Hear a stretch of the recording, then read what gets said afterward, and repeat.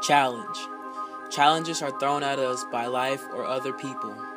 We can push through challenges that inspire us. Challenges can crush us and strengthen us.